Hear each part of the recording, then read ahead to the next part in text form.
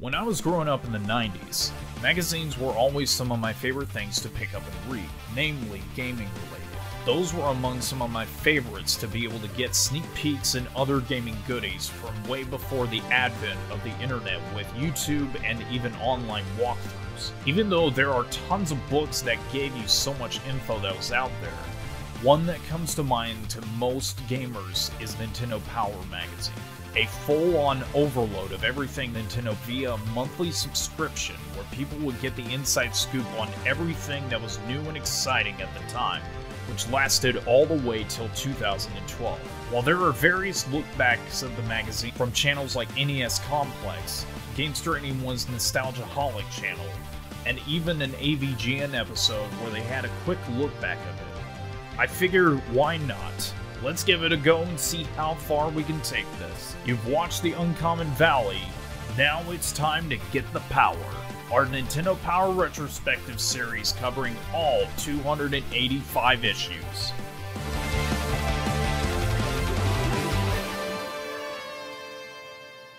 We begin our journey with, you guessed it, issue number one released in summer of 1988. While the Nintendo Fan Club newsletter was Nintendo's first foray into getting news out there for the fans, it would actually be Nintendo Power that would truly become the go-to source for all future news. And what a way to get things going with what many regard as the most recognizable gaming cover of all magazine releases. Choosing Super Mario Bros. 2 was a great choice of games to get people excited as it was one of the most highly anticipated titles of that year. Among other titles that they covered over for this issue was the first Double Dragon, Gauntlet, the original Contra, and even Wheel of Fortune. Opening up the magazine, and we get the first official adverts of the day Nintendo Power Line. This was essentially their hotline to be able to get helpful tips and tricks for certain NES games and lasted all the way up till 2010. Though, as a nice throwback when they released the NES Classic, they would actually bring this back for the hotline for only a few days with it being all automated calls. There also was a full on walkthrough to play the second quest in the original Legend of Zelda which was actually nice to be able to hold people off until the second one, Adventure of Link, would be released four months later when this issue was released. I like how they also included the full map for the second quest in case you happen to get lost, a nice added feature to new players. The poster that was included for the first issue was all baseball themed, and has some questionable choices for it namely for titles such as Bases Loaded and RBI Baseball. But MLB by LJN is it one that I recommend keeping on here. But forget all that, Nintendo apparently has their own official baseball team, or to be assumed that they are, because the jersey it looks like it says Nintendo. I know the jersey is supposed to be bending and creasing in different ways, but the name on the jersey just looks misspelled. Also, apparently Nintendo is against Gotham because Batman's logo is being shown in the sky. For Counselor's Corner, this was more of a way for players to get some of their video game questions answered for certain games that they had trouble with. Some of the notable titles this month are Ghost and Goblin's Easy Firebrand Cheat and Level Select Code, to going one-on-one against Mike Tyson in Punch-Out. There is a separate section in the magazine called Classified Information, which you could honestly put with the rest of the Counselor's Corner. When Nintendo Power first started, it ran a comic series called Howard and Nestor.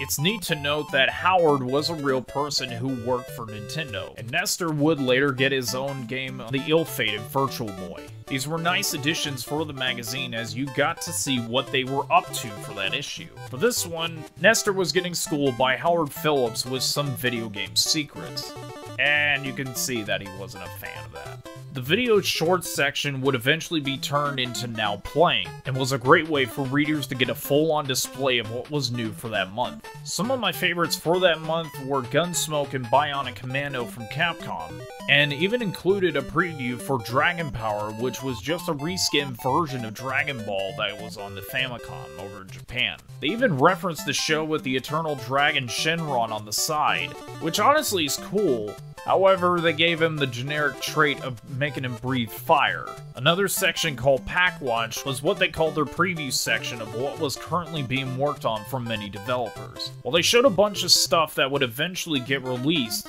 they would always tease certain games that would never make it to the US market. For example, they featured Chesterfield, which would play very similar to Zelda 2. Probably never got to see the release for that reason alone. Another one that never got released was Empire City 1931 which was a cursor moving shooter from the arcades. Maybe it was because you were shooting down gang members, but something like Platoon and Robocop getting released is very confusing. I know that those are movies, but those were rated R. Kind of a weird choice to include, but moving on. When I started looking at the section, I was pleasantly surprised to see Dragon Quest III get shown off, whereas here in the States, we only just got the first one and would have to wait another three years before getting our hands on it. But one of the things I never cared for the most was where they featured movies that were coming out and some of the actors' thoughts on Nintendo.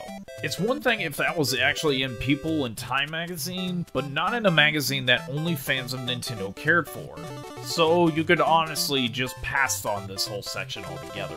The final thing to note about these issues is that they would include as much fan reputation as possible with the inclusion of the NES Achievers, Video Spotlight, and Top 30 sections. This is where Nintendo Power gave the power to the fans and allowed them to submit their scores for the month, and even vote for some of their favorite games that they were playing for that month also. We'll cover over each and every single month that they voted for and see how much of a difference it did take over time.